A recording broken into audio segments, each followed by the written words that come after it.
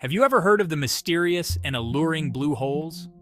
These underwater sinkholes or vertical caves are scattered across our planet's oceans, and they hold secrets that have intrigued scientists and explorers alike for centuries.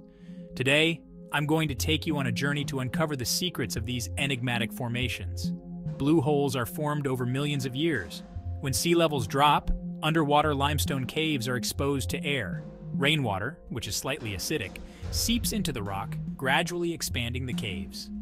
Eventually, the roofs of these caves collapse, creating deep, vertical shafts that lead to the ocean's depths.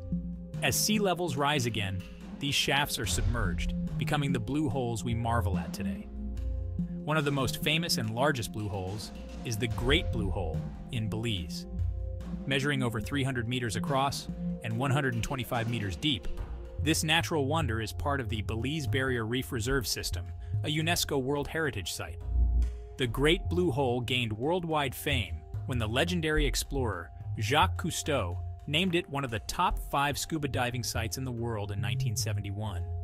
Divers from around the globe flock here to experience its deep blue waters and encounter marine life such as reef sharks and giant groupers. But Belize's Great Blue Hole is just the beginning. The Dean's Blue Hole in the Bahamas is even deeper, plunging to depths of over 200 meters. It's a favorite spot for freedivers seeking to push the limits of human endurance. In fact, it's here that many world records for freediving have been set, as divers descend into the abyss with nothing but their breath. Then there's the Dragon Hole in the South China Sea, known as the deepest blue hole in the world, with a depth of approximately 300 meters it's often referred to as the Eye of the South China Sea. Local legends speak of dragons lurking within its depths, adding an air of mystique to its dark, unexplored waters. Blue holes are more than just geological wonders. They're time capsules, preserving clues about our planet's past.